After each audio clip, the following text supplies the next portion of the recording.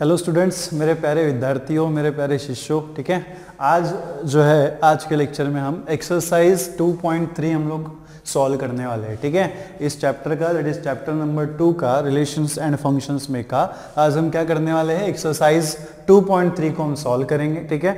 I will recommend you ठीक है? I will recommend you to watch the introduction of the exercise 2.3 अगर आप introduction जो है वो अच्छे से समझ जाए तो एक्सरसाइज सॉल्व करने में आपको बिल्कुल भी कोई भी, किसी भी प्रकार की दिक्कत या फिर तकलीफ़ जो है या फिर दर्द जो है वो आपको नहीं होने वाला है है ना? तो बहुत सिंपल और बहुत आसान आसान से क्वेश्चन है इस एक्सरसाइज में एंड आई होप कि अगर आपने इंट्रोडक्शन देखा हो, ठीक है तो आपको जो है ये एक्सरसाइज सॉल्व करना बहुत आसान हो जाएगा, ठीक है ना? तो यहाँ पे हमने क्वेश्चन एग्ज़ाम्पल नंबर वन ले रखा है। एग्ज़ाम्पल नंबर वन से हम लोग स्टार्ट करने वाले हैं, ठीक है? क्या कह रहा है ये? Which of the following relation are function ठीक है, नीचे कुछ रिलेशन हमें दिए हुए हैं। दिख रहे ना आप यहाँ पे? सबको दिख रहे हो दिख रहे सबको? वन टू एंड थ्री ठीक है ना? तो यहाँ पे क्या बोला है? Which of the following relation are function give the reason of its function determine its domain and range ठीक है? आपको ये चेक करना है वेरीफाई करना है कि जो रिलेशन आपको दिए हुए हैं, ये फ़ंक्शन है या नहीं है। अगर फ़ंक्शन है तो आपको रीजन देना है कि वो क्यू फ़ंक्शन है। उसके बाद आपको क्या करना है? Domain and range find out करना है। ठीक है? तो इसके बारे में आपको एक बेसिक आइडिया दे दू। फ़ंक्शन कब होता है ना? एनी रिलेशन जो है, किसी रिलेशन को हम फ़ंक्शन कब बोलते हैं? कब बोलते हैं? When all the elements of the domain are use मतलब डोमेन के सारे एलिमेंट जो है हमारे यूज़ होने चाहिए, और उसका इमेज जो है, ठीक है? उसका इमेज जो है वो कैसा होना चाहिए? बी में यूनिक होना चाहिए, ठीक है ना? अगर मान लो, ये आपका मैपिंग है सेट ए ठीक है ना? ये जो आपका मैपिंग है सेट ए टू बी तो हम इस किसी भी रिलेशन को, हम फ़ंक्शन कब बोलते हैं? जब क्या होगा? डोमेन का हर एलिमेंट जो है यूज़ होगा, ये क्या होता है? हमारा डोमेन होता है, सबको पता है। ठीक है ना? सेट ए जो होता है, क्या होता है? हमारा डोमेन होता है। ये डोमेन भी हमें फाइंड आउट करना है। ठीक है ना? ये डोमेन भी हमें फाइंड करना है। तो सेट ए जो होता है, वो क्या होता है आपका? डोमेन होता है और फ़ंक्शन ऑफ़ इस रिलेशन को, किसी भी रिलेशन को हम फ़ंक्शन कब बोलते हैं? जब डोमेन के सारे एलिमेंट यूज़ होते हैं, ठीक है? सारे एलिमेंट हम यूज़ करते हैं और उसका इमेज बी में जो है, उसका जो इमेज बी में दिखता है, वो कैसा होना चाहिए? यूनिक होना चाहिए। अगर वो यूनिक है और सारे एलिमेंट यूज़ हो रहे हैं, ये दोनों बातें अगर फुलफिल हो रही है, ऐसे रिलेशन को बेटा हम क्या बोलते हैं? फ़ंक्शन बोलते हैं, ठीक है ना? क्या बोलते हैं? फ़ंक्शन तो फ़ंक्शन का आपका आइडिया क्लियर हो गया। हमने ऑलरेडी इंट्रोडक्शन में बहुत बार देख चुके हैं तो ज़्यादा हम उसको रिपीट नहीं करेंगे। देन बोला गया है डोमेन एंड रेंज है ना? तो डोमेन क्या होता है? Domain is very simple domain is very simple as simple is that कि ए जो है रिलेशन में का ए जो है, या फिर इनपुट सेट इसको आप इनपुट सेट भी बोल सकते हैं, इसको आप आउटपुट सेट भी बोल सकते हैं। तो सेट ए जो होता है डोमेन उसे हम कहते हैं डोमेन सेट ए के एलिमेंट्स हम कहते हैं डोमेन ठीक है? और सेट बी में हम लोग क्या बोलते हैं? कोडोमेन रेंज क्या होता है? ठीक है? रेंज क्या होता है? सेट बी की ऐसी वैल्यूज़ ठीक है? सेट बी की ऐसी वैल्यूज़ जो हमने यूज़ की हो, ठीक है? हमने क्या की हो? यूज़ की हो, या फिर सेट बी की ऐसी वैल्यूज़ जिसका प्री इमेज जो है वो ए में एग्जिस्ट हो। ठीक है ना? आ रही है बात समझ में? रेंज मतलब क्या होता है? सेट बी की ऐसी वैल्यूज़ जो हमने यूज़ करी हो, जो हमने यूज़ की हो, या फिर उसको आप क्या बोल सकते हैं? सेट बी की हर वैल्यूज़ जो क्या हो, जिसका प्री इमेज ए में एग्जिस्ट हो, ठीक है? सेट बी की हर ऐसी वैल्यू जिसका प्री इमेज जो है वो क्या हो? ए में एग्जिस्ट हो। ऐसे वैल्यूज़ को, ऐसे वैल्यूज़ के सेट को हम क्या कहते हैं? रेंज कहते हैं, ठीक है ना? तो ये वन बाय वन जो है ना, सारे रिलेशन हम यहाँ पे पढ़ेंगे। ठीक है? सारे रिलेशन हम क्या करेंगे यहाँ पे पढ़ लेंगे। तो सबसे पहले क्या करेंगे, इसको डिनोट कर लेंगे let R is equal to ये जो रिलेशन आपको दिया हुआ है वन इक्वेशन नंबर वन हम लोग सॉल्व करने वाले हैं यहाँ पे, ठीक है? इसका रिलेशन जो ही दिया हुआ है, इसको हम नोट कर लेते हैं टू वन है, ठीक है? इसे क्या कहा जाता है? ठीक है, देखते हैं हम लोग फाइव वन है, ठीक है? देन क्या है हमारे पास? एट वन है देन क्या है हमारे पास? इलेवन वन है एंड देन क्या है हमारे पास? फोर्टीन वन है एंड देन क्या है हमारे पास? सेवनटीन वन ठीक है, क्या है? सेवनटीन वन तो बेटा इसे क्या कहा जाता है? ये क्या होता है हमारा? ऑर्डर्ड पेयर्स ये जो लिखने का तरीका है, ठीक है? ये जो लिखने का तरीका है, इसे क्या कहते हैं हम लोग? ऑर्डर्ड पेयर्स इन केस अगर आप भूल गए हो तो हम लोग फिर से रिवाइज कर रहे हैं कि ये जो लिखने का तरीका है, जहाँ पे फ़र्स्ट एलिमेंट जो है वो सेट ए से आता है, ठीक है? कहाँ से आता है सेट ए से आता है। अगर मान लो अगर आपने ए क्रॉस बी ले रखा हो ठीक है? ए क्रॉस बी ले रखा हो और आपने अगर A defined from F defined from A to B ले रखा हो, ठीक है? तो इन बोथ द केसेस ठीक है? इन बोथ दिस केसेस जो फ़र्स्ट ऑर्डर्ड पेयर में का जो फ़र्स्ट एलिमेंट है, वो कहाँ से आता है? फ़र्स्ट सेट से आता है, ठीक है? सेट ए से आता है। और जो सेकंड एलिमेंट है, वो क्या होता है? सेट बी से आता है, ठीक है? एंड रिगार्डिंग टू रिलेशन ठीक है? In particularly when we talk particularly about the relation जब सिर्फ़ हम रिलेशन के बारे में बात कर रहे हो तो डोमेन क्या होता है? It is a set of first entries in the all the ordered pairs which belongs to the relation ठीक है? है ना? इन केस ऑफ़ रिलेशन अगर आप सिर्फ़ रिलेशन के बारे में बात कर रहे हो तो आपको क्या ध्यान में रखना है? डोमेन क्या होता है? It is a set of all the elements of first entries in ordered pair ठीक है? मतलब ऑर्डर्ड पेयर की फ़र्स्ट इंट्रीज का जो सेट होता है, ठीक है? वो सेट होता है, उसे हम क्या कहते हैं? डोमेन कहते हैं, ठीक है? और जो ऑर्डर्ड पेयर है किसके एलिमेंट्स होने चाहिए? रिलेशन के एलिमेंट्स होने चाहिए। तो भैया रेंज क्या होता है? रेंज भी हमने देखा था। रेंज क्या होता है? It is a set of second entries है ना? It is a set of second entry मतलब ऑर्डर्ड पेयर में जो सेकंड एलिमेंट होता है, उसका जो सेट है, वो क्या होता है? रेंज होता है। और डेफिनेटली जो ऑर्डर्ड पेयर है, वो क्या होनी चाहिए? आर की एलिमेंट होनी चाहिए ठीक है ना? तो सबसे पहले हम क्या करेंगे यहाँ पे? आप चाहे तो डोमेन नोट कर सकते हो। डोमेन आपके पास है। ठीक है ना? डोमेन इज़ इक्वल टू क्या होगा? सेट ऑफ़ फ़र्स्ट एंट्रीज क्या क्या है? टू है फाइव है एट है इलेवन एंड फोर्टीन है। तो क्या हो जाएगा? टू फाइव इलेवन एंड ठीक है? टू फाइव एट ठीक है? टू फाइव एट देन क्या है हमारे पास? इलेवन है, ठीक है? और देन क्या है हमारे पास? फोर्टीन है देन क्या है हमारे पास? सेवनटीन है। तो भैया ये हो गया डोमेन ठीक है? सिंपल सिंपल सी बात है। डोमेन मतलब क्या होता है? Set of first entries in all the ordered pairs which belongs to the R which belongs to the relation ठीक है ना? देन सुनो, ठीक है? अब सुनो रेंज रेंज क्या होता है? ठीक है भैया? रेंज रेंज क्या होता है? It is a set of second entries from all the ordered pairs which belongs to the relation R अब भैया सेकंड एंट्री में देखो ना एलिमेंट क्या है? वन है वन है वन है वन है वन तो वन को इतने बार लिखने की ज़रूरत है क्या? नहीं है, सिर्फ़ आप क्या लिखेंगे? वन लिखेंगे। ठीक है? सिर्फ़ क्या लिखेंगे? वन लिखेंगे। तो डोमेन और रेंज जो है आपने बहुत इजिली फाइंड कर लिया। डोमेन जो हमें कितना मिला है? Two five eight eleven fourteen and seventeen और रेंज हमें कितना मिला है स्टूडेंट्स वन मिला हुआ है ना? देन हम क्या करेंगे ना? हमें देखना है कि ये फ़ंक्शन है या नहीं है। फ़ंक्शन है या नहीं है मतलब इसका क्या करना है हमें? मैपिंग बनाएँगे। पहले तो। ठीक है? हम मैपिंग बनाएँगे। मैपिंग बना के हम लोग चेक करेंगे कि भैया ये फ़ंक्शन है या नहीं है। ठीक है? तो ये हो गया आपका सेट ए ठीक है? ये हो गया आपका सेट बी और ये आपका फ़ंक्शन है F mapping from A to B F mapping from A to B ठीक है? यहाँ पे आप देखो ए में हमारे कौन से एलिमेंट्स है? जो फ़र्स्ट एंट्रीज है, ठीक है? ऑर्डर्ड पेयर में रिलेशन आर में जो ऑर्डर्ड पेयर में फ़र्स्ट एंट्रीज है, वो किसके एलिमेंट्स है? ए के एलिमेंट्स है। तो भैया कौन से कौन से एलिमेंट्स है? टू है। फाइव है देन क्या है हमारे पास एट है देन हमारे पास इलेवन है देन हमारे पास फोर्टीन है, ठीक है? देन क्या है हमारे पास फोर्टीन है और देन क्या है हमारे पास सेवनटीन है? क्या है? सेवनटीन बरोबर आपको यहाँ पे ड्रॉ करना है और बरोबर आपको यहाँ पे लिखना है, ठीक है? देन यहाँ पे आप देखो सेट बी में, ठीक है? सेट बी से कौन सा एलिमेंट आ रहा है? सिर्फ़ वन आ रहा है। तो ये क्या हो जाएगा? वन ठीक है? तो यहाँ पे आप देखो ऑर्डर पेयर क्या है? टू वन तो टू को हम वन से कनेक्ट कर देंगे। ऑर्डर पेयर क्या है हमारी? टू वन तो हम टू को जो है वन से कनेक्ट कर देंगे, ठीक है ना? देन यहाँ पे देखो टू फाइव वन फाइव जो है वन से कनेक्टेड है तो ये हो गया फाइव वन देन क्या है? एट वन एट भी जो है वन से कनेक्टेड है तो ये हो गया आपका एट वन देन क्या है? इलेवन वन इलेवन भी जो है, आपका वन से कनेक्टेड है that is eleven one then क्या है? फोर्टीन वन तो आप देख सकते हो कि ये जो एलिमेंट है फोर्टीन उससे कनेक्टेड है दैट इज़ वन और सेवनटीन वन की किसके साथ ऑर्डर्ड है? वन के साथ ही ऑर्डर्ड है तो आप क्या देखोगे यहाँ पे? ये जो सेवनटीन है, वो किसके साथ कनेक्टेड है? वन के साथ कनेक्टेड है, ठीक है? अब यहाँ पे आप देखो, ठीक है? फ़ंक्शन की हमारी डेफिनेशन क्या कहती है? क्या कहती है कि ए के सारे एलिमेंट जो है, वो यूज़ होने चाहिए ना? ए के जो सारे एलिमेंट है, वो यूज़ होने चाहिए, और उसका इमेज जो है यूनिक होना चाहिए। अब देखो यूनिक है या नहीं है? सुनो, है ना? यहाँ पे देखो टू का इमेज वन है, ठीक है? Two five eight eleven fourteen and seventeen तो ये चार जितने भी ए में एलिमेंट थे, सारे यूज़ हो गए। फ़र्स्ट डेफिनेशन इज़ फुलफिल्ड अब हमें देखना है कि इसका इमेज यूनिक है या नहीं है। है ना? देखो, अब यार, यहाँ पे आपको देख रहा होगा कि सारे के सारे एक ही एलिमेंट से कनेक्टेड है। तो सबके मन में लगा होगा, सर, ये यूनिक नहीं है।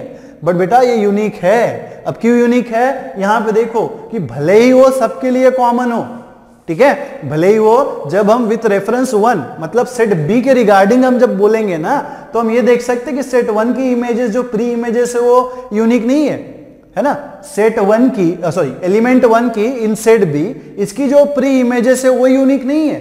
बट अगर आप सेट ए के तरफ़ से बात करते हो, जब आप सेट ए की तरफ़ से हाथ मिला लेते हो, और जब आप इसके तरफ़ से देखते हो ना तो आप देखो टू का जो वैल्यू है वन है। है ना? टू का जो वैल्यू कितना है? वन है। फाइव का जो वैल्यू है? वन है। फाइव एट का जो वैल्यू है? वन है। वन का जो इलेवन का जो वैल्यू है? वन है। फोर्टीन का वैल्यू भी वन है और सेवनटीन का भी वैल्यू वन है। मतलब सेट ए के एलिमेंट्स की कोई भी दो वैल्यूज़ है क्या? नहीं है। सिर्फ़ क्या है? एक ही वैल्यू पॉसिबल है। कोई अदर वैल्यू वहाँ पे एग्जिस्ट नहीं करती। मतलब क्या है कि जब हम सेट ए की तरफ़ से बात करेंगे, है ना? जब हम बायास्ट हो जाएँगे, उसकी तरफ़ से बात करेंगे तो क्या दिख रहा है कि टू का वैल्यू यूनिक है? मतलब एक ही वैल्यू है टू की कोई अदर वैल्यू है क्या? नहीं है. फाइव की भी वैल्यू कैसी है?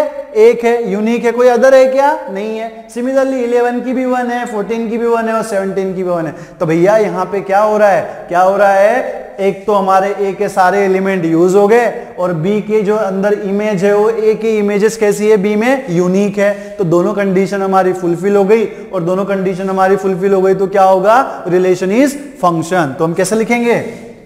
कैसे लिखेंगे? आर इज़ अ फ़ंक्शन ठीक है? आर क्या है हमारा?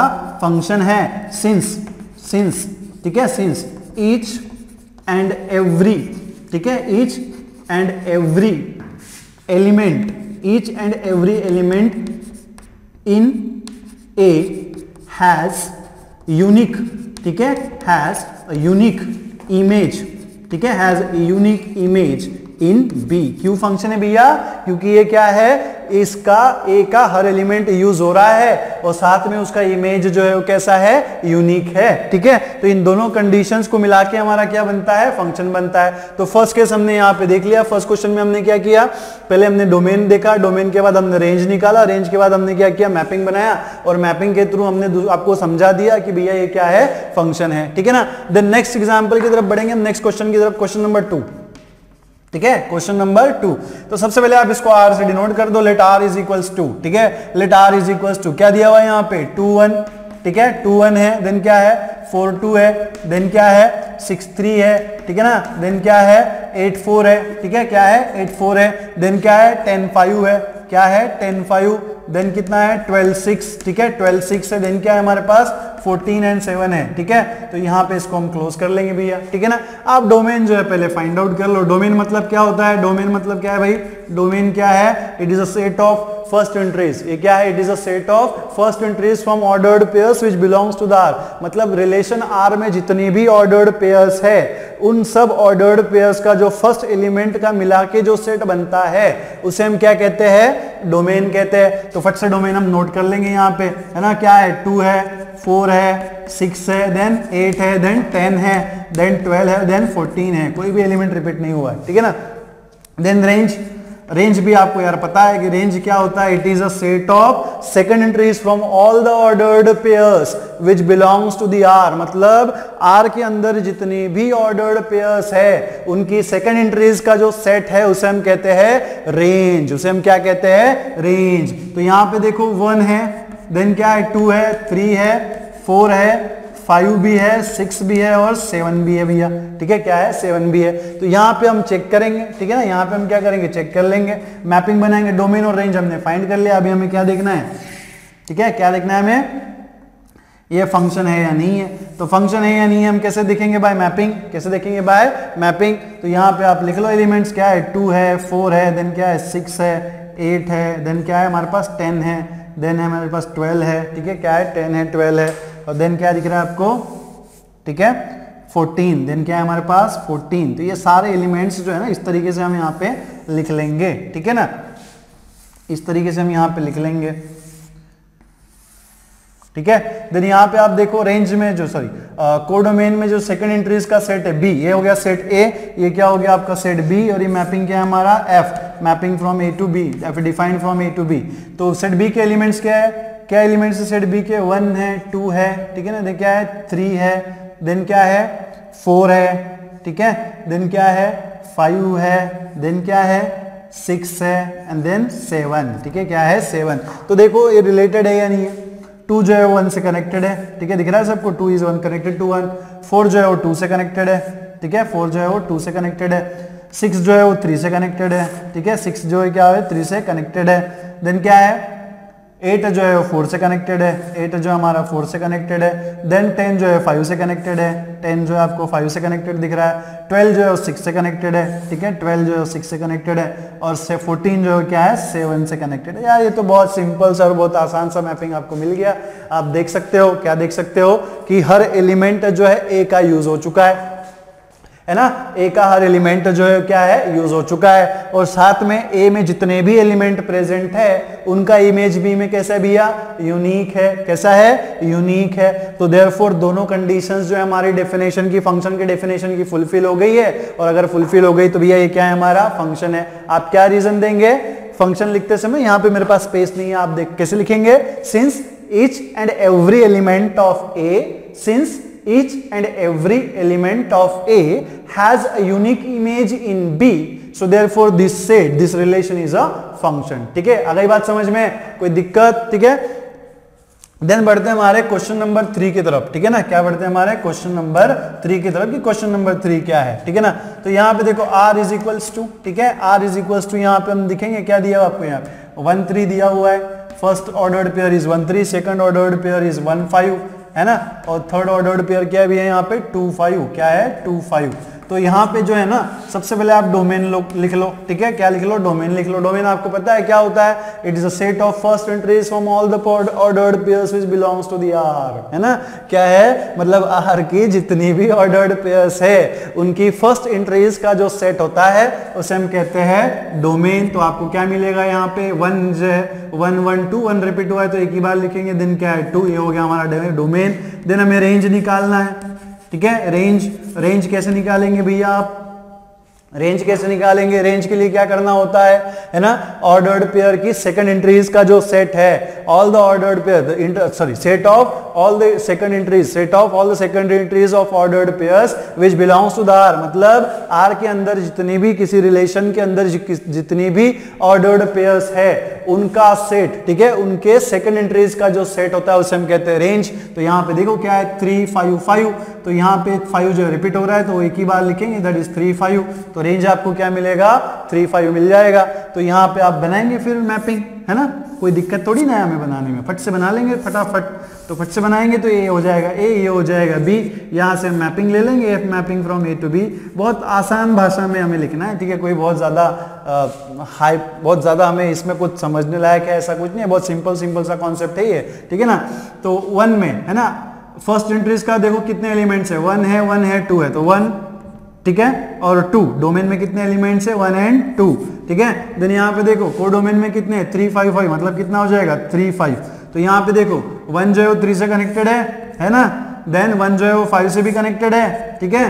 देन टू जो है वो अगेन क्या है? टू जो है वो फिर से फाइव से कनेक्टेड दिख रहा है आपको, है ना? क्या है? दिख रहा है टू जो है फाइव से कनेक्टेड है। तो यार यहाँ पे आप देखो कि ये फ़ंक्शन है या नहीं है, ठीक है? ये फ़ंक्शन है क्या? मुझे तो लगता है नहीं है। आप देखो कैसे है या नहीं है, ठीक है ना? यहाँ पे देखो, ये जो वन है ना, इसकी दो पॉसिबल वैल्यूज़ मिली है आपको। ये जो दो वन दिख रहा है, आपको क्या मिल रही है इसकी? देखो, सारे एलिमेंट्स तो यूज़ हो गए। एक है, सारे एलिमेंट तो यूज़ हो गए। मतलब फ़र्स्ट कंडीशन हमारा फुलफिल हो गया। बट सेकंड कंडीशन क्या है कि इमेज जो है ना, वो यूनिक होना चाहिए। तो यहाँ पे देखो वन की जो पॉसिबल वन की जो वैल्यूज़ है थ्री एंड फाइव मिली है। मतलब एक ही एलिमेंट की दो इमेजेस मिली है है ना? एक ही एलिमेंट की हमें क्या मिली है? दो इमेजेस मिली है तो यूनिक होगा क्या? नहीं होगा ना? ये यूनिक होगा क्या? नहीं होगा। मतलब एक के सारे एलिमेंट तो यूज़ हो गए बट इमेजेस जो है यूनिक है क्या? नहीं है तो यूनिकनेस खत्म हो गई, है ना? यूनिकनेस जो है वो क्या हो गई? खत्म हो गई। और अगर यूनिकनेस खत्म हो गई तो ये हमारा फ़ंक्शन होगा क्या? नहीं होगा। So this is not function ठीक है? नॉट फ़ंक्शन और अगर आपको रीजन देना है कि ये फ़ंक्शन क्यों नहीं है पूछा तो नहीं है बट अगर आपको देख पता पता करना है कि ये फ़ंक्शन क्यों नहीं है तो आप कैसे लिखेंगे? कैसे लिखेंगे? Images in set B are not unique images in set B are not unique ठीक है ना? अब यहाँ पे देखो, इन क्वेश्चन नंबर वन को और क्वेश्चन नंबर टू को आप देखो, ठीक है? क्या डिफरेंस है? Question number sorry question number one की मैपिंग में और क्वेश्चन नंबर टू की मैपिंग में देखो डिफरेंस क्या है? यहाँ पे क्या था ना, ठीक है? इसकी वन की जो है ना वन की बहुत सारी प्री इमेजेस थी। वन की जो है बहुत सारी प्री इमेजेस थी। बट ए के जो एलिमेंट्स है ना, उनका एक ही इमेज था। मतलब टू के लिए भी वो यूनिक था थ्री के लिए भी फाइव के लिए भी यूनिक था। जितने भी एलिमेंट्स है ए के अंदर, वो सबके लिए यूनिक था। बट यहाँ पे देखो आप, ये जो वन है ना, इसका दो इमेजेस आपको मिल रहा है। कितना इमेजेस मिल रहा है? दो इमेजेस मिल रहा है मतलब एक ही एलिमेंट की दो इमेजेस है। तो ये यूनिक हुआ क्या? नहीं हुआ। ये यूनिक है है ना? ये क्या है? यूनिक है। क्योंकि एक एलिमेंट की एक ही पॉसिबल वैल्यू मिल रही है, भले ही वो सबके लिए कॉमन हो। ठीक है? भले ही वो क्या हो, सबके लिए कॉमन हो। जैसे हम समझ सकते हैं यहाँ पे, देखो, कोई राम है। ठीक है? कोई राम है और कोई क्या है? श्याम है। ठीक है? कोई क्या है? हमारा श्याम है। तो यहाँ पे अगर इनके फादर जो है, वो ए है।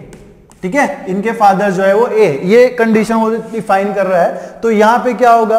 राम के लिए भी इनके फादर यूनिक है और शाम के लिए भी इनके फादर यूनिक है है ना? ऐसा कोई अनयूनिकनेस मिल रहा है कि आपको? नहीं मिल रहा है। राम के लिए भी एक ही फादर है, भले ही दोनों के फादर कॉमन है है ना? दोनों राम और शाम के फादर जो है कॉमन है बट वो राम के लिए भी यूनिक है और शाम के लिए भी यूनिक है है ना? तो इस केस में ये क्या हो गया? यूनिक हो गया। मतलब two elements can have the one image, है ना? दो एलिमेंट्स क्या है? कॉमन इमेज कंटेन कर सकते हैं but one element can not have the two images but एक एलिमेंट की दो इमेजेस पॉसिबल नहीं हो सकते, है ना? दो एलिमेंट का एक इमेज कॉमन हो सकता है। अगेन ठीक है? ध्यान से सुनो, ठीक है? मेरी बात सुनो, मैं क्या बोल रहा हूँ? दो एलिमेंट्स का एक इमेज कॉमन हो सकता है। कोई दिक्कत नहीं है, कोई बुराई वाली बात नहीं है। बट एक एलिमेंट की दो इमेजेस नहीं हो सकती। एक एलिमेंट की दो इमेजेस नहीं हो सकती। और अगर दो इमेजेस होती है तो यूनिकनेस खत्म हो जाती है। और यूनिकनेस खत्म हो जाती है तो वो हमारा फ़ंक्शन नहीं होता है। ठीक है? So this is a solution for the example number one बढ़ते हैं हमारे अगले एग्जांपल की तरफ़। तो चलिए देखते हैं हमारा एग्ज़ाम्पल नंबर टू ठीक है? एग्ज़ाम्पल नंबर टू में क्या पूछा गया है? Find the domain and range of the following real functions F of X is equals to ठीक है, माइनस मॉड एक्स ठीक है, और यहाँ पे F of X is equals to क्या दिया हुआ है आपको root nine minus X square ठीक है? तो भाई साहब, यहाँ पे आपको बोला गया है कि भैया बताओ कि जो आपको फ़ंक्शन दिए हुए है उसका डोमेन क्या है और रेंज क्या है, ठीक है ना? तो मान लो, ठीक है, जैसे हमने यहाँ पे अभी तक पढ़ा था कि अगर सपोज़ कोई मैपिंग है जो आपको डिफाइंड किया हुआ है सेट ए से सेट बी में, है ना? सेट ए से अगर सेट बी में डिफाइंड किया है तो भैया आप क्या बोलते थे? सर, ये जो सेट हमारा है, ये क्या है? हमारा डोमेन है। क्या है? डोमेन है। और ये जो होता है, ये क्या होता है? कोडोमेन होता है, ठीक है? बट यहाँ पे ना, ठीक है, यहाँ पे इन्होंने थोड़ा सा एक ट्रिक खेल दिया आपके साथ, ठीक है? क्या खेल दिया? एक ट्रिक खेल दिया। यहाँ पे कोई भी रेंज या फिर कोई भी आपको जो, क्या बोल सकते हैं मैपिंग ठीक है? यहाँ पे आपको दिया हुआ नहीं है। सिर्फ़ इन्होंने आपको क्या दे दिया? एक फ़ंक्शन दे दिया और बोल दिया, भैया बताओ कि इसका डोमेन क्या होगा और रेंज क्या होगा, है ना? तो अगर इस टाइप से फ़ंक्शन आपको दिया नहीं है, ठीक है? इस टाइप से अगर आपको फ़ंक्शन दिया नहीं है तो आप रेंज कैसे फाइंड आउट कर सकते हैं और डोमेन कैसे फाइंड आउट कर सकते हैं, ये अभी हम यहाँ पे देखेंगे, ठीक है ना? तो यहाँ पे देखो इसको समझने के लिए हमें डोमेन का दूसरे डेफिनेशन के ऊपर रिलाय करना पड़ेगा, ठीक है? डोमेन की दूसरी डेफिनेशन के ऊपर रिलाय करना पड़ेगा। डोमेन की दूसरी डेफिनेशन क्या थी, ठीक है? डोमेन की जो हमने दूसरी डेफिनेशन पढ़ी थी, वो क्या होती है कि सेट ठीक है? सेट की ऐसी वैल्यूज़ जिसके लिए फ़ंक्शन जो हो डिफाइंड हो, ठीक है? एक्स की, या फिर आप बोल सकते हैं एक्स ये जो आपको एक्स दिख रहा है ना यहाँ पे एक्स ठीक है? तो इस एक्स की ऐसी वैल्यूज़ जिसके लिए जो है वो आपका फ़ंक्शन डिफाइंड हो मतलब क्या करता हो? फाइनाइट वैल्यू देता हो, ठीक है? क्या करता हो? फाइनाइट वैल्यू देता हो, या फिर रियल वैल्यू देता हो, ठीक है? तो एक्स की ऐसी वैल्यूज़ जिसके लिए हमारा जो फ़ंक्शन है वो क्या करता है? रियल वैल्यू देता है, या फिर फाइनाइट वैल्यू देता है। उस सेट की वैल्यूज़ उस वैल्यूज़ के सेट को हम कहते हैं डोमेन ठीक है? उस वैल्यूज़ के सेट को हम क्या कहते हैं? डोमेन अगेन आई रिपीट मैं क्या कह रहा हूँ कि एक्स की, ठीक है? एक्स की ऐसी वैल्यूज़ ठीक है? एक्स की ऐसी वैल्यूज़ जो क्या करता है, ठीक है? एक्स की ऐसी वैल्यूज़ जिसके लिए हमें फ़ंक्शन क्या देता है? रियल वैल्यू देता है या फिर क्या देता है? फाइनाइट वैल्यू देता है। तो उस वैल्यूज़ के सेट को हम क्या कहते हैं? डोमेन कहते हैं। क्या कहते हैं? डोमेन कहते हैं। ठीक है ना? तो यहाँ पे हम क्या करेंगे? वन बाय वन हम दोनों का यहाँ पे सोल्यूशन लिखा लेंगे लिख लेंगे, ठीक है ना? तो इसको हम लोग दो पार्ट में डिवाइड करेंगे। तो लिखेंगे सब सोल्यूशन ठीक है? फ़र्स्ट ठीक है? फ़र्स्ट का आप सोल्यूशन लिखेंगे। गिवन ठीक है? यहाँ पे देखो गिवन आपको क्या दिया हुआ है? F of X is equal to minus root minus mod X ठीक है? F of X is equal to क्या है? माइनस मॉड एक्स ठीक है? तो आपको एक बात ध्यान में रखनी है कि मॉड एक्स हमारा क्या करता है? मॉड क्या करता है? किसी भी निगेटिव नंबर को पॉजिटिव कर देता है है ना? हमें पता है ना कि मॉड एक्स जो है वो कैसा होता है? Greater than equals to zero होता है। मतलब आप एक्स की कोई भी वैल्यू दो पॉजिटिव वैल्यू दो या फिर नेगेटिव वैल्यू दो, वो क्या करता है? उस वैल्यू को पॉजिटिव के फॉर्म में कन्वर्ट करता है और पॉजिटिव के फॉर्म में कन्वर्ट करता है मतलब क्या हो सकता है? एक तो ग्रेटर देन ज़ीरो होगा या तो फिर क्या होगा? इक्वल्स टू ज़ीरो होगा, ठीक है ना? तो यहाँ पे F of X is equals to अगर आपको माइनस मॉड एक्स दिया हुआ है, ठीक है? सो हेयर ठीक है? हेयर आप देख सकते हो कि आप x की कोई भी वैल्यू पुट करो, है ना? आप x की कोई भी रियल नंबर पुट करो। सपोज़ अगर आप वन पुट करेंगे तो F of one is equal to आपको यहाँ पे क्या मिल जाएगा? F of one is equal to क्या मिल जाएगा? Minus mod one is equal to minus one है ना? क्या मिलेगा? Minus mod one is equal to minus one अब क्वेश्चन आता है कि, सर, आपने तो कहा था कि मॉड जो है वो निगेटिव वैल्यू कर देता है। अरे भैया, अगर एक्स में आप निगेटिव वैल्यू दोगे, ठीक है, और यहाँ पे मॉड के बाहर माइनस साइन लगा हुआ है तो इसका मतलब क्या है? जो भी पॉजिटिव वैल्यू आने वाली है, उसको फिर से क्या कर देगा? निगेटिव कर कर देगा, ठीक है? कि देखो, हम यहाँ पे इस तरीके से इसको समझ सकते हैं कि अगर हमने x जो है, ठीक है, x जो हमने फोर लिया हुआ है तो क्या हो जाएगा? F of four is equal to कितना हो जाएगा? माइनस मॉड फोर और ये जो मॉड है, वो क्या कर देगा? फोर को क्या कर देगा? फोर ही लिखेगा। और ये जो माइनस है, वो आपका बाहर है। तो माइनस फोर हमारा क्या होना चाहिए? माइनस फोर उसी तरीके से अगर आप F of minus four find out करते हो, ठीक है तो यहाँ पे क्या हो जाएगा? Minus of mod minus four ठीक है? नाउ इज़ इक्वल्स टू ये जो बाहर का माइनस है, वो आपका यहाँ पे एज इट इज़ रहेगा। बट ये जो अंदर में निगेटिव साइन है, उसको मॉड क्या कर देगा? पॉजिटिव कर देगा, है ना? सुनो, क्या बोल रहा हूँ मैं? ये जो मॉड के अंदर में निगेटिव साइन है मॉड क्या करेगा? उसको पॉजिटिव कर देगा तो आपको फोर मिल जाएगा। और यहाँ पे जो बाहर निगेटिव बैठा हुआ है, वो फिर से उसको कैच कर लेगा। तो यहाँ पे क्या हो जाएगा? माइनस क्या होना चाहिए? माइनस ठीक है ना? तो यहाँ पे जब आप x की कोई भी वैल्यू देंगे, ठीक है? तो जैसे हमने वन दिया, हमें माइनस वन मिला। सपोज़ अगर हम माइनस वन देते हैं तो फिर भी क्या मिलेगा? Minus of mod minus one is equal to minus of mod minus one कितना हो जाएगा? वन ठीक है? कितना हो जाएगा वन और माइनस ऑफ़ वन कितना होना चाहिए? माइनस वन ठीक है? तो कहने का मतलब क्या है कि आप यहाँ पे एक्स की कोई भी वैल्यू पुट करो, कोई भी रियल नंबर उठा के डाल दो, ठीक है ना? एक्स को कोई भी रियल नंबर दे दो दे दो, वो खुला खेलेगा, ठीक है? क्या करेगा? खुला खेलेगा। एक्स को कोई भी रियल नंबर आपने दे दिया तो आपको वैल्यू देगा, ठीक है? क्या करेगा? वैल्यू देगा। इसका मतलब क्या है? X is well defined x जो है, क्या है? वेल well डिफाइंड है किसके लिए?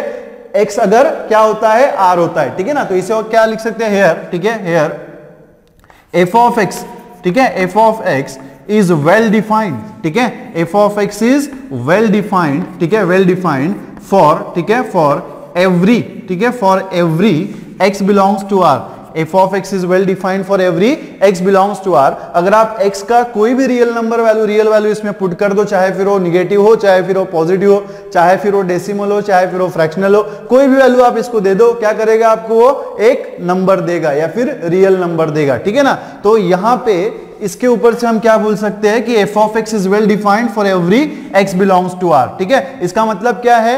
आर की हर वैल्यू के लिए, ठीक है? आर की हर वैल्यू के लिए हमारे पास फ़ंक्शन क्या देता है? कोई ना कोई वैल्यू देगा। इसका मतलब क्या होगा कि इसका डोमेन क्या है? आर है। इसका डोमेन क्या है? आर है। सो दिस इंप्लाइज ठीक है? This implies domain of F ठीक है? Domain of F is equal to कितना हो जाएगा? R domain of F is equal to कितना हो जाएगा? R domain of function is equal to R ठीक है? तो बढ़ते हमारे अगले। इसके ऊपर हमें देन क्या फाइंड करना है? रेंज ठीक है ना? यहाँ पे आप ऐसे नोट कर लेना, ठीक है?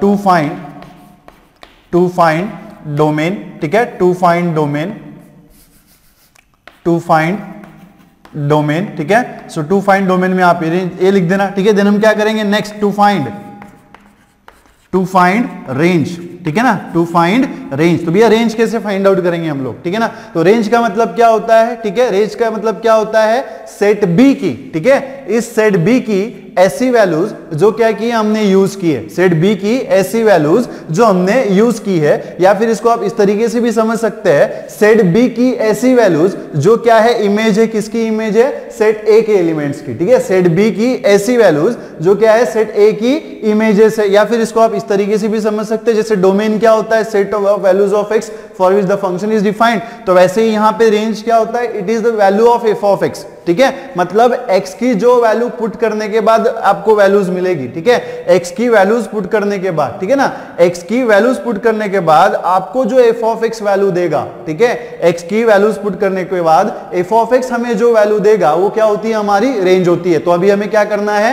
f ऑफ़ x की यहाँ पे वैल्यूज़ फाइंड आउट करनी है कि x अगर हम r पुट कर देते हैं तो यहाँ पे f ऑफ़ x हमें कौन सी वैल्यूज़ देगा, ठीक है ना? तो यहाँ पे आप देखो, ठीक है? जैसे टू फाइंड रेंज हमें पता है कि मॉड x जो है क्या है? पॉजिटिव नंबर है मतलब वो हमें क्या देगा? पॉजिटिव नंबर देगा ठीक है ना? तो मॉड एक्स जो होता है क्या होता है? It is greater than equals to zero है ना? Mod x is always greater than equals to zero it always gives the positive number mod x क्या करता है? हमें हमेशा पॉजिटिव नंबर देता है। और अगर हमें मॉड एक्स पॉजिटिव नंबर देता है तो इसको हम कैसे लिख सकते हैं? Mod x is greater than equals to zero इसी को आप कैसे लिख सकते हैं? अगर इसको हमने निगेटिव साइन से मल्टीप्लाई कर दिया क्या कर दिया? इसको अगर हमने निगेटिव साइन से मल्टीप्लाई कर दिया तो क्या हो जाएगा भैया? क्या हो जाएगा? माइनस मॉड ऑफ़ एक्स ठीक है? अब अगर इस नंबर को हमने निगेटिव कर दिया तो ये जो greater than equals to sign है, वो क्या हो जाएगा हमारा? लेस देन इक्वल्स टू हो जाएगा। क्या हो जाएगा? लेस देन इक्वल्स टू हो जाएगा, ठीक है? और इसी को आप क्या लिख सकते हो? ठीक है? इसी को हम क्या लिख सकते हैं? इंप्लाइज ठीक है? ठीक है? माइनस मॉड ऑफ़ एक्स देखो, यहाँ पे हमने क्या था, किया था? हमें पता था कि मॉड एक्स जो है वो क्या होता है? Greater than equals to zero होता है है ना? मॉड एक्स क्या होता है? Greater than equals to zero होता है मतलब मॉड का क्या काम है? मॉड क्या काम करता है? किसी भी निगेटिव नंबर को पॉजिटिव में कन्वर्ट कर देता है। आप उसे कोई भी नंबर दो पॉजिटिव दो या फिर निगेटिव दो, आपको क्या करेगा?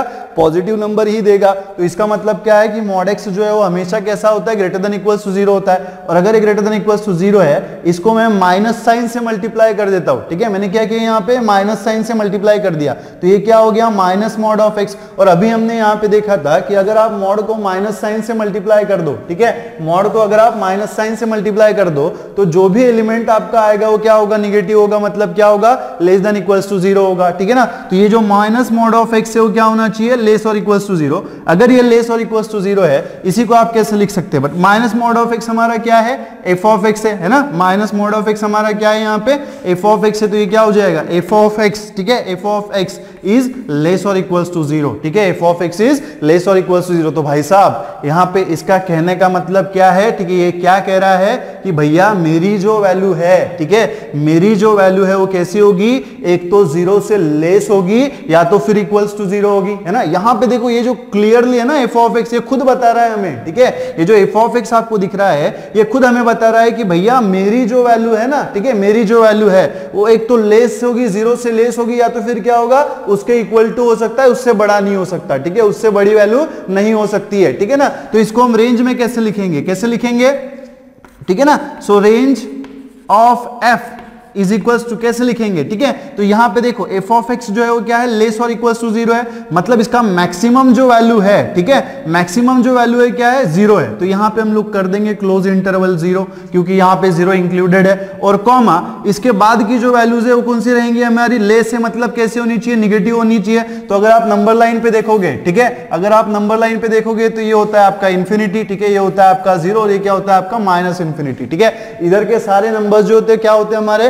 पॉजिटिव होते हैं और इधर के सारे नंबर्स जो होते हैं, हमारे कैसे होते हैं? निगेटिव होते हैं। ठीक है? कैसे होते हैं? निगेटिव होते हैं। तो यहाँ पे आप देखो कि अगर एफ़ ऑफ़ एक्स जो है, वो लेस और इक्वल्स टू ज़ीरो है। एफ़ ऑफ़ एक्स अगर लेस और इक्वल्स टू ज़ीरो है, इसका मतलब क्या है कि एक तो एक्स एफ़ ऑफ़ एक्स का वैल्यू ज़ीरो होगा, जो हमने क्लोज से शो कर दिया क्लोज इंटरवल ठीक है ना? अब यहाँ पे ज़ीरो के बाद जो वैल्यू जो है, कैसी है? निगेटिव है। और निगेटिव हम कहाँ तक देखते हैं? माइनस इंफिनिटी तक। ठीक है? तो यहाँ पे हम क्या कर देंगे ना, इसको ऐसे ओपन कर देंगे और लिख देंगे माइनस इंफिनिटी ठीक है? क्या कर देंगे? माइनस इंफिनिटी अब ओपन का मतलब क्या है? कि माइनस इंफिनिटी जो है वो इंक्लूडेड नहीं है। मतलब इंफिनिटी नहीं है। तो माइनस इंफिनिटी के पहले जो भी नंबर आएगा, वो कैसा होगा हमारा? फाइनाइट होगा। कैसा होगा? फाइनाइट होगा। अगर हम यहाँ पे क्लोज लिख देते, ठीक है? अगर हम यहाँ पे क्लोज लिख देते तो इसका मतलब क्या होता कि माइनस इंफिनिटी भी इंक्लूडेड है। बट यहाँ पे फ़ंक्शन जो है it is well defined for the R किसके लिए वेल डिफाइंड है? आर के लिए डिफाइंड है। मतलब आर की आप जो भी वैल्यू पुट करेंगे, आपको एक फाइनाइट नंबर मिलेगा। क्या मिलेगा? lá फाइनाइट नंबर मिलेगा जो इसको कॉन्ट्राडिक्ट करेगा, ठीक है ना? तो इसलिए हमें क्या करना पड़ेगा कि ज़ीरो तो हमने ले लिया ज़ीरो भी इंक्लूडेड है, और ज़ीरो के बाद सारे निगेटिव नंबर्स आएँगे। तो सारे निगेटिव नंबर्स मतलब कैसे डिनोट करेंगे? सारे निगेटिव नंबर्स को ओपन माइनस इंफिनिटी ठीक है? माइनस इंफिनिटी ठीक है? ओपन माइनस इंफिनिटी तो अब इस रेंज का मतलब क्या हो गया? क्या इसको ये सेटिस्फाई करता है या क्या इस कंडीशन को ये फुलफिल करता है? तो जी हाँ बिल्कुल करता है। अगर लेस और इक्वल टू ज़ीरो है, इसका मतलब क्या है? ज़ीरो इंक्लूडेड है। ज़ीरो क्या है? इंक्लूडेड और माइनस इंफिनिटी यहाँ पे राउंड ब्रैकेट क्या बताता है कि यहाँ पे माइनस इंफिनिटी जो है, क्या है? एक्सक्लूडेड है। मतलब माइनस इंफिनिटी के पहले आने वाले जितने भी नंबर है, कि मान लो यहाँ पे कोई नंबर है, ये भी क्या होता है हमारा? फाइनाइट होता है। क्या होता है? फाइनाइट होता है। मतलब माइनस इंफिनिटी को अगर हम छोड़ दे, ठीक है? माइनस इंफिनिटी को अगर हम छोड़ दे तो उसके पहले जितने भी नंबर्स आएँगे, वो सब क्या होंगे हमारे? फाइनाइट होंगे। ठीक है ना भाई साहब? ठीक है? तो यहाँ पे देखो हमने क्या कर दिया? पहले तो हमने डोमेन फाइंड आउट कर लिया। F of x is equal to root under sorry minus mod x आपको दिया था हमने, उसके ऊपर से हमारा डोमेन फाइंड आउट कर लिया। और डोमेन के बाद हमने क्या किया? यहाँ पे रेंज फाइंड कर लिया है। ठीक है ना? अब क्या करेंगे हम? क्वेश्चन नंबर टू की तरफ़ बढ़ते हैं। ठीक है भाई? क्वेश्चन नंबर टू की तरफ़ बढ़ते हैं सब लोग। चलो लिखेंगे। Solution for the question number two question number two क्या है हमारे पास? ठीक है ना? Solution for the question number two ठीक है? यहाँ पे आपको एफ़ ऑफ़ एक्स क्या दिया हुआ है? गिवन ठीक है? Given f of x is equals to ठीक है? F of x is equals to under root of nine minus x square under root of nine minus x square so therefore ठीक है? देयर फोर टू फाइंड सबसे पहले हम क्या करेंगे? To find domain ठीक है? टू फाइंड डोमेन हम लोग डोमेन फाइंड करेंगे, ठीक है ना? तो यहाँ पे देखो डोमेन फाइंड आउट करने के लिए फिर से हमें वही कॉन्सेप्ट यूज़ करना पड़ेगा। कौन सा कॉन्सेप्ट यूज़ करना पड़ेगा? सेट एक्स की ऐसी वैल्यूज़ जिसके लिए फ़ंक्शन क्या है? डिफाइंड हो। ठीक है फ़ंक्शन क्या है डिफाइंड हो। अब बात यहाँ पे देखो, मेरी बात सुनो। अगर, ठीक है, अगर किसी दिन, अगर किसी दिन मैं आपको ये बोल देता कि ये जो नाइन माइनस एक्स स्क्वायर है, उसका निगेटिव वैल्यू है, ठीक है? अगर मैं किसी दिन आपसे ये बोल देता कि नाइन माइनस एक्स स्क्वायर जो है, इसका वैल्यू निगेटिव है तो क्या होता? ठीक है, क्या होता भैया? अगर रूट के अंदर निगेटिव आता है ठीक है? अगर रूट के अंदर निगेटिव आता है तो अगर रूट के अंदर निगेटिव आता है तो क्या होता है? क्या ये हमारा रियल नंबर होता है? नहीं होता है। ये क्या होता है? इमेजिनरी होता है। क्या होता है? इमेजिनरी होता है। अगर हम इसके अंदर रूट के अंदर नाइन माइनस एक्स स्क्वायर का वैल्यू निगेटिव ले लेता, ठीक है? मैं किसी दिन अगर आपसे ये बोल दू कि भैया नाइन माइनस एक्स स्क्वायर अगर निगेटिव है तो मुझे बताओ रूट का वैल्यू क्या होगा? तो क्या होता है ये? इमेजिनरी हो जाता, है ना? अंदर में अगर निगेटिव है रूट के अंदर में अगर निगेटिव है तो क्या हो जाता है? आय हो जाता है इमेजनरी हो जाता है और हमें बड़ी तकलीफ़ होती, ठीक है ना? हमें क्या होती? बहुत तकलीफ़ होती, बहुत दर्द होता, क्योंकि हम इसे डिफाइंड नहीं कर सकते अच्छे से, ठीक है ना? तो यहाँ पे कहने का मतलब क्या है? ये बताने का मतलब क्या है कि जो नाइन माइनस एक्स स्क्वायर है वो आपका भैया पॉजिटिव होना चाहिए, है ना? नाइन माइनस एक्स स्क्वायर हमारा क्या होना चाहिए? पॉजिटिव होना चाहिए। आप उसको पॉजिटिव, कोई भी पॉजिटिव वैल्यू दे दो, है ना? नाइन माइनस एक्स स्क्वायर, आप कोई भी पॉजिटिव वैल्यू ले लो, वो कैसा होगा? खुला खेलेगा। सारी वैल्यूज़ आपको देगा, पॉजिटिव वैल्यूज़। कोई भी पॉजिटिव वैल्यूज़ आप दे दो, खुला खेलेगा वो बिल्कुल, ठीक है ना? तो जब तक हमें एक्सेप्टेड है, तब तक, जब तक वो हमें तब तक एक्सेप्टेड होगा जब तक वो क्या है रियल है। ठीक है ना? ये नाइन माइनस एक्स स्क्वायर की वैल्यू हमें तब तक एक्सेप्टेड है जब तक तो वो क्या है रियल है या फिर पॉजिटिव है। बट जिस दिन वो निगेटिव हो जाएगा, उस दिन हमें क्या होगा इमेजनरी मिलेगा और इमेजनरी अगर हमें मिलता है तो हमें बहुत तकलीफ़ होगी। ठीक है ना? तो कहने का मतलब क्या है कि ये जो रूट के अंदर वैल्यू होती है, ठीक है? रूट के अंदर जो वैल्यू होती है, वो हमेशा कैसे होनी चाहिए? पॉजिटिव होनी चाहिए। कैसे होनी चाहिए? पॉजिटिव होनी चाहिए। इसका मतलब क्या हो गया भैया? ठीक है? ठीक है, इसका मतलब क्या हो गया कि नाइन माइनस एक्स स्क्वायर जो है कैसा होना चाहिए? Greater than equals to zero होना चाहिए। कैसा होना चाहिए? Greater than equals to zero होना चाहिए। अगर greater than equals to zero है, इसी को आप कैसे लिख सकते हो? Nine is greater than equals to x square ठीक है? Nine is greater than equals to x square भैया, इसी का मतलब क्या होता है? X square is less than equals to nine ठीक है? X square is less than equals to nine और इसी का मतलब क्या होता है? That is x square is less और इक्वल्स टू ठीक है? एक्स इज़ लेस और इक्वल्स टू अगर आप स्क्वायर रूट ले लो तो क्या मिलेगा? अंडर रूट ऑफ़ नाइन और अंडर रूट ऑफ़ नाइन का मतलब क्या होता है? एक्स इज़ लेस और equals to plus minus three ठीक है? एक्स इज़ लेस और equals to plus minus three but हमने क्या बोला था? It is greater than equals to zero तो अगर मुझे पॉजिटिव वैल्यू चाहिए, है ना? यहाँ पे एक्स की दो वैल्यूज़ मिली है पॉजिटिव निगेटिव तो अगर मुझे x की एक ही वैल्यू लेना है तो मुझे क्या करना पड़ेगा? मैं यहाँ पे मॉड ले लूँगा मॉड ले लूँगा तो क्या हो जाएगा? इट इज़ लेस और इक्वल्स टू थ्री है ना? मॉड क्या करेगा?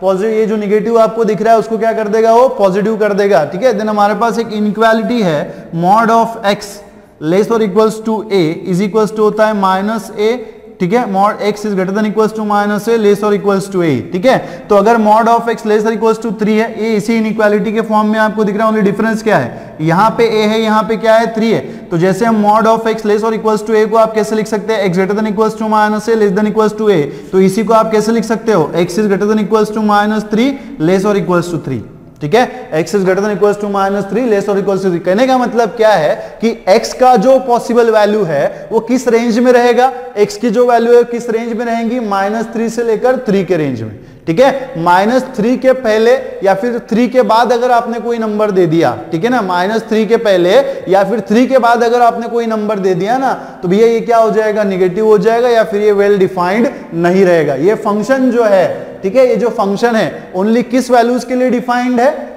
एक तो x is equal to minus three से लेकर के थ्री तक। माइनस थ्री से लेकर के थ्री तक जितने भी नंबर है, उन सारे नंबर्स के लिए हमारा x कैसा रहेगा? वेल डिफाइंड रहेगा। ठीक है ना? तो यहाँ पे आप डोमेन कैसे लिखेंगे? इसका मतलब क्या हो गया? x बिलोंग्स टू है ना? X बिलोंग्स टू इसका मतलब क्या हो गया? यहाँ पे देखो माइनस थ्री क्या है? लेस और इक्वल्स टू मतलब इंक्लूडेड है तो यहाँ पे हम क्लोज कर देंगे। और यहाँ पे थ्री कैसा है? अगेन इंक्लूडेड है तो यहाँ पे भी हम क्या करेंगे? क्लोज इंटरवल लिखेंगे। इसका मतलब क्या है कि x is a well defined function ठीक है? यहाँ पे आप कैसे लिखेंगे? सो दिस विल इंप्लाइज ठीक है? F of x is well defined is well defined f of x is well defined for ठीक है? X belongs to the close interval minus three comma three ठीक है ना? X किसके लिए वेल डिफाइंड है? माइनस थ्री से लेकर थ्री तक, ठीक है? तो इसका मतलब क्या हो गया कि this function is well defined for this range तो हमारा डोमेन क्या हो जाएगा भैया? क्या होना चाहिए domain domain of f is equal to कितना हो जाएगा? Close interval minus three comma three हमने ये सब इंटरवल ऑलरेडी पढ़ रखे हैं कि क्लोज इंटरवल क्या होता है? ओपन इंटरवल क्या होता है? ओपन क्लोज इंटरवल क्या होता है? या फिर क्लोज ओपन इंटरवल क्या होता है? ठीक है ना? तो ये क्लोज इंटरवल का मतलब क्या है कि माइनस थ्री भी इंक्लूडेड है और थ्री भी इंक्लूडेड है, ठीक है? तो ये हो गया हमारा डोमेन देन फाइंड करेंगे रेंज ठीक है? देन क्या फाइंड करेंगे? रेंज तो लिखेंगे सब टू फाइंड ठीक है? टू फाइंड रेंज ठीक है? टू फाइंड रेंज हाँ भाई रेंज अगर हमें फाइंड करना है तो हम क्या करेंगे? यहाँ पे आप देखो कि हमने यहाँ पे क्या नोट किया था कि x कैसा है? Greater than equals to minus three है less than equals to three है. सिंस ठीक है? Since x is greater than equals to minus three less और इक्वल्स टू थ्री एक्स कैसा हमारा? Greater than equals to minus three less और equals to three इसी को आप क्या नोट कर सकते हैं? एक्स इज़ लेस और इक्वल्स टू थ्री x कैसा है? लेस और इक्वल्स टू थ्री है. इसी का मतलब क्या होता है? स्क्वेयरिंग ठीक है? अगर आप दोनों साइड में स्क्वेयरिंग कर दो तो क्या हो जाएगा? एक्स स्क्वायर इज़ लेस और इक्वल टू थ्री नाइन ठीक है? थ्री का स्क्वायर कितना होता है? नाइन तो एक्स स्क्वायर इज़ लेस और इक्वल्स टू नाइन अगर एक्स जो है, वो लेस और एक्स स्क्वायर जो है लेस और इक्वल्स टू नाइन है मतलब क्या हो सकता है? एक तो नाइन से छोटा होगा और क्या होगा लेस अगेन एक बात आपको यहाँ पे ध्यान में रखनी है कि एक्स जो है, वो स्क्वायर है, ठीक है? एक्स क्या है यहाँ पे? स्क्वायर है। तो किसी भी एलिमेंट का स्क्वायर निगेटिव होता है क्या? किसी भी नंबर का स्क्वायर निगेटिव होता है क्या? नहीं होता है। अगर स्क्वायर है तो हमेशा क्या होगा? पॉजिटिव होगा। आपको पता है ना?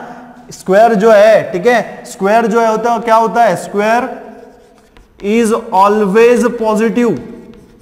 Square is always positive. Square जो हमेशा क्या होता है?